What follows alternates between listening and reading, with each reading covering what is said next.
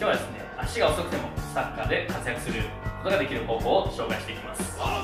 その前にチャンネル登録お願いします。はい。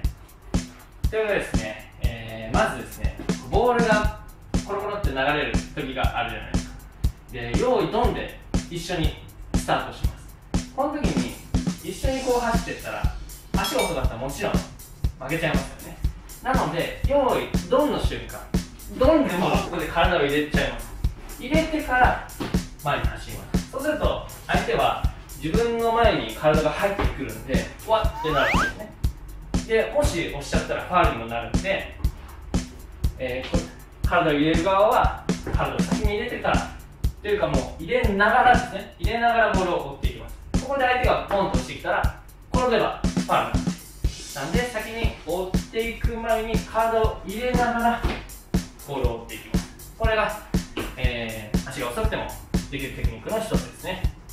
ということでよかった方グッドボタンお願いします。次の動画でお会いしましょう。バイバイ。